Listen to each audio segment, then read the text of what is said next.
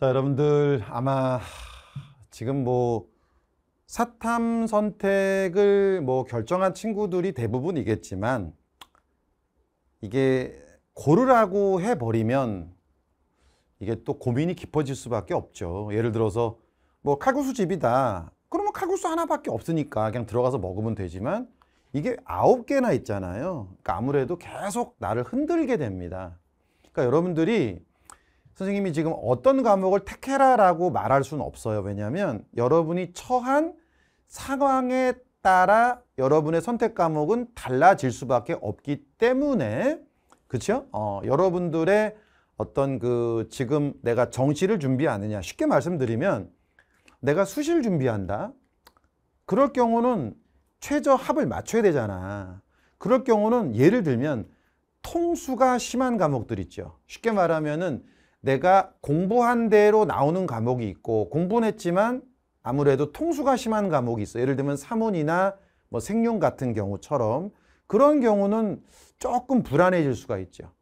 그리고 또 하나 또또두 번째 이런 얘기 있어요. 여러분들이 속으로 아우 선생님 또 지리 선생님이어서 사문 생륜 디스부터 시작하는구나. 그게 아니라니까. 근데 만약에 여러분들이 고2 때까지 야부리 털면서 신나게 놀다가 갑자기 고3 되면서 뭔가 의욕이 막 거의 뭐 화산 폭발할 때가 있잖아. 그런 친구들은 어떻게 돼? 공부 내력이 쌓여 내공이 없단 말이야. 그런 친구들이 경제하면 되겠어? 윤리하면 되겠어? 아니야. 그런 친구들은 뭐 해야 돼? 분량이 너무 적은, 그러니까 그 분량 제일 적은 게 사문이거든요. 사문이나 생륜 무조건 해야 돼. 진짜 무조건 해야 돼. 그리고 또 하나, 국영수가 계속 안 돼 있어. 국영수 안 돼 있어. 그런 친구 아무리 통수가 없어. 우리가 쌍지라든 쌍지라든가 쌍사는 분량이 조금 많은 편에 속해. 그치? 그 대신에 통수가 없는 거야. 여러분이 꼭 알아둘 게 있어요. 뭐냐면 이 세상에 다 좋은 게 없다 그러잖아. 다 나쁜 것도 없고. 그러니까 쌍지나 쌍사는 내용은 많아. 근데 이게 무슨 뭐 무지성 암기가 많아. 무지성 암기라는 건 뭐냐면 그만큼 머리 쓸 일이 적은 거야. 그럼 그런 과목들은 시간 많은 친구는 괜찮은 거야. 통수도 적기 때문에. 그런데 국영수 점수가 계속 안 나와. 그치? 그런 친구들은 대부분 대학에서 뭐 사, 과탐 같은 경우야 뭐 국영수, 국영수만큼이나 또는 이상의 어떤 비중을 두지만 사탐은 그렇지 않단 말이야. 끼케야 비슷하거나, 물론 영어보다 높은 데는 좀 있지만 끼케야 비슷하거나 미만이란 말이야. 그러니까 그런 친구들은 생륜, 삼은 할 수밖에 없어. 알겠지? 그리고 또 하나 있어. 뒤에 또 얘기해 줄 텐데 만약에 자기가 국어를 되게 잘해. 그럼 국어를 되게 잘하는 친구들은 무조건 윤리 과목이나 사문은 하시는 게 좋아요.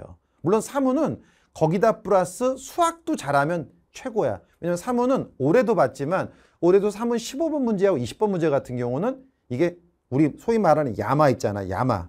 머리를 돌려야 된단 말이야. 아, 물론 야마는 일본말로 산입니다만 야마 도는 문제가 있단 말이야.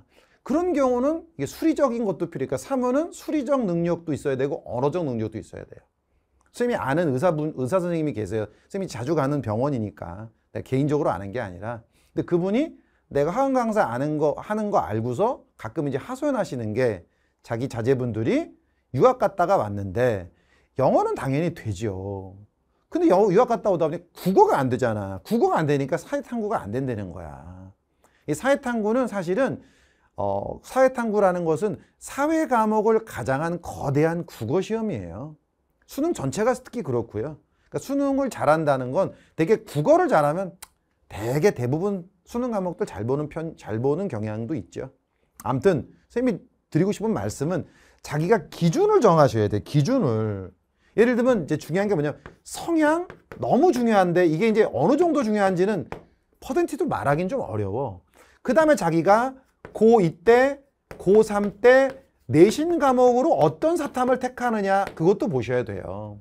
그 다음에 자기가 수시냐 정시냐 이것도 봐야 되고 자기의 국영수의 완성도 정도도 봐야 돼. 이걸 총체적으로 고려해서 간다는 얘기지. 아까 말했잖아. 내가 국영수 아직 너무 많이 부족해.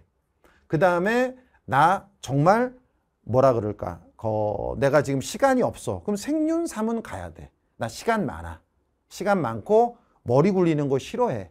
그러면 어, 쌍사라든가 쌍지로 가는 게 좋아요. 알겠지? 그 여, 자기가 자기의 성향도 보고 근데 성향은 여러분들이 자꾸 물어보던데 성향을 어떻게 아냐면 여기서 말하는 건 여러분의 캐릭터가 아닐 거 아니야.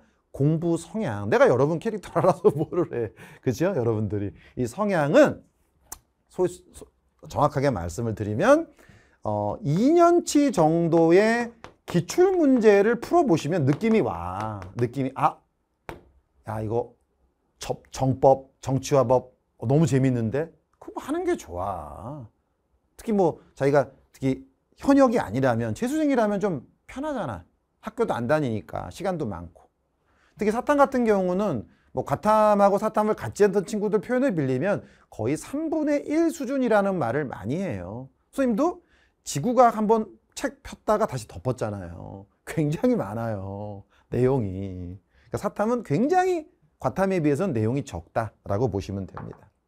자, 그럼 이제 지리편이긴 한데 요 얘기를 또 중간에 드릴 거예요. 물론 다 해버린 것 같습니다만 들어가 보죠. 일단 지리 중심으로 사회탐구 선택에 대해서 하는데 전체적인 어떤 선택 가이드를 한번 말씀드려 볼게요. 일단 첫 번째, 이 지리 선택을 지금 여러분도 알지만 이제 서울의 주요 대학들 포함해서 굉장히 많은 대학이 뭐 가중치는 좀 두지만은 이제 이공계 지원하는 학생들에게도 사탐이 반영될 수 있게 해놨잖아요. 그래서 지금 게시판이라든가 이런 데 커뮤니티 보시면 어, 나 지금 이제 수학은 미적이라든가 이런 쪽이 좀 표점이 높으니까 나 수, 수학은 기하나 미적하고 탐구는 사탐해볼래. 뭐 이런 애들이 좀 있어요. 물론 서연고라든가 그렇죠? 최상위권 대학은 그건 힘들어요. 몇 점 차이로 끝나는 거기 때문에 가중치를 포기할 수가 없는 거잖아. 하지만 내가 서울에 그냥 중하위권 정도 노린다. 그렇다면 은 사탐 선택은 굉장히 고려해 볼 만한 요소가 있는 겁니다. 자, 그럼 이제 지리부터 지리 얘기로 돌릴게요. 지리 선택자가 소수라던데. 볼까요? 아홉 개 과목 중에 선택자 수입니다. 여기만 보시면 돼요. 1위, 부동의 1위 거의. 생활과 윤리 16만. 3은 부동의 2위 14만. 얘 둘 빼면 얘가 얼마 전까지 3위였는데 4위가 됐어요. 얘가 지금 4만, 얘가 3만 7천, 4만 3천. 비슷하죠? 한국 지리가 4위고 세계 지리가 5위예요. 그러니까 9개 과목 중에 한국 지리, 세계 지리는 선택자 수가 딱 중간입니다. 그러니까 선택자가 소수는 아닌 거야. 그러니까 여러분들이 왜 숫자가 적으면 1등급 받기가 어렵다 그러잖아. 그러나 특히나 한지 세지에는 뭐 극상위권이 몰린다 이런 통계도 없어요. 극상위권 거의 경제나 이런 데 많아. 정법 이런 데 많아요. 자, 들어가 보겠습니다. 두 번째 질문. 지리는 맨날 1등급 컷이 50이라던데 볼까요? 자, 지금 5년 동안에 올해 올해 직전 수능까지 포함해서 50점이 떴던 1등급 컷이 50점이 떴던 횟수를 보여드리면 윤사가 3개, 생윤이 2번, 한지가 4번, 세지가 2번, 세계사가 3번, 동아시아사 3번, 삼은 정법 경제는 한 번도 없어요. 결국 이 얘기는 무슨 얘기냐면 얘가 어렵게 출제를 하고 있다는 얘기야. 근데 여러분들이 어려운 문제는 싫어. 그건 아니지. 세상은 항상 야누수적인 거야. 얘가 어렵게 출제했다. 그러면 공부를 잘하는 친구들은 어때? 여기서 표점이 높단 말이야. 특히 사문은 굉장히 매력적인 과목이긴 해요. 사실 한 6, 7년 전만 해도 이 사문하고 한지가 이 사탐의 가장 많은 선택 조합이었거든요. 근데 이제 이 생륜이 생기면서 이를 부득부득 선생님 지금 이 갈고 있잖아. 생존 생기면서 한지가 그냥 완전히 G2더 망이 된 것 같아. 하지만 선생님은 어, 한지 좋습니다. 세지 좋고요. 그러니까 지금 보면은 한지는 분명히 한지는 늘 1등급 컷이 50점이라고 말해도 틀린 말이 아니야. 근데 세지는 그렇지 않아. 두 번, 두 번이잖아. 오히려 이 전체 9개 과목 중에서는 1등급 컷 50점 횟수가 세지는 중간 정도밖에 안 되는 거야. 근데 여기서 내가 드리고 싶은 말씀이 있어요. 평균의 오류에 빠지시면 안 돼요. 내가 계속 50점 나온다 그래서 2025학년도에 50점 나온다는 보장 있어 없어? 없어. 평균적으로 그럴 거라고 생각하는 거야. 갑자기 사문도 그래. 갑자기 쉽게 낼지도 몰라. 그러니까 여러분들이 이거는 나는 고려의 대상이 아니라고 봐요. 이건 뽑기야. 내가 근데 내가 뽑는 것도 아니잖아. 그러니까 결론. 1등급 컷에 연연하지는 말아라라고 말씀을 드리고 싶습니다. 요거는 왜 평균이지만 당해년도 어떻게 될지 모른다 이 얘기죠. 이제 들어가 봅니다. 여러분들이 제일 중요한 얘기인데 아까 여기서 다 해버렸어요. 더 할 얘기 없어요. 무슨 과목 뭐뭐 가리키는지는 아시잖아요. 윤사 같은 경우는 약간 철학 과목이라고 보면 돼요. 어, 생윤 같은 경우는 약간 센 도덕 과목 같은 거. 선생님도 그래서 올해 나온 이제 윤사하고 생윤 오늘도 이렇게 봤더니 올해 윤사에서는 소크라테스, 아리스토텔레스 그다음에 요거 이제 기발이 기발 기가 발하고 거기에 이제 이 리가 이제 거기에 올라탄다 뭐 있잖아. 요게 이제 기발이 승도설 요게 이황 선생님 건가? 이 선생님 거 갑자기 기억이 안 나네. 요거 그다음에 이제 정약용, 흉, 뭐 토마스 아퀴나스 중세 그 철학 요런 게 나왔더라고요. 생윤 같은 경우는 맹자 나왔고 하버마스, 뭐 샤무엘도 벤담 이런 거. 이 하버마스 같은 경우 이제 현대 철학자죠. 돌아가셨나 모르겠네. 쌤 대학 다닐 때 서울대학교에 92년도인가 55년도에 강의하러 오셨었어요. 근데 기억이 나. 왜냐면 그때 선생님 때가 포스트 모더니즘이라 그래가지고 막 푸코, 데리다, 라캉, 뭐 요 요 하버마스 이런 철학자들의 시대였거든. 그래서 하버마스 온다 그래서 난리가 났었죠. 아무튼 요런 거예요. 그리고 여러분들이 궁금한 게 이 생윤 같은 경우나 이 사문 같은 경우는 분량이 극하기 때문에 아까 말한 대로 국영수가 너무 부족한 친구 또는 늦게 사탐을 시작한 친구들 요런 경우는 이걸 할 수밖에 없다. 그러나 자기가 수시에서 최저합을 노린다 그러면 사문 같은 경우나 생류는 통수 가능성이 세단 말이에요. 왜? 딱 그랬잖아. 명암이 다 있어요. 분량 적은 대신 분량 적으니까 뭐로 승부를 낼까? 교과 내용으로 승부를 내긴 어렵겠지. 뭐로 승부를 내? 출제 형식. 뭐 이제 생륜 같은 경우는 다이어그램인데 이 다이어그램 같은 경우는 사실 지금 어, 작년에 윤석열 대통령의 그 카리텔 그 발표 이후로 사실 이제 괴랄한 자료 해석 문제를 안 내면서 조금 조금 줄고 있고 오케이 어. 그 다음에 이제 사문 같은 경우는 올해만 보더라도 15번 20번 보면은 정말 앉은 채로 응가가 나오더라고요 봐도 그러니까 이런 거야 너가 누렸잖아 정말 최소의 시간으로 이 공부했잖아 그러니까 수능 당일날 똥 싸는 거야 앉아가지고 이거 어려워요 그러니까는 이렇게 쌍지라든가 쌍사 같은 경우는 분량이 많아. 특히 이제 세계사는 진짜 양이 많죠. 그러나 얘네들은 통수는 없다고 봐야 된단 말이야. 왜? 통수 낼 게 없잖아. 야, 어디에 기후가 지형이 어떻고 여기서 어떠한 어떻게 괴랄한 문제를 낼 수가 있겠습니까? 없죠. 이 그래도 뭐 뭐라 그럴까? 비문학적인 문제도 거의 없어요. 그냥 내용 교과 내용 중심이죠. 근데 얘네들은 주어진 지문을 그러니까 국어적인 어떤 스킬이 좀 필요한 거예요. 쉽지 않죠. 그럼 그러니까 자기가 자기 성향을 잘 알고 계셔야 돼요. 자기 성향을. 근데 선생님이 알기로 이과에서 넘어온 친구들 같은 경우는 쌍지나 쌍사가 오히려 편할 수 있어요. 또는 또는 선생님 개인적으로는 이 두 과목을 제일 좋아해요.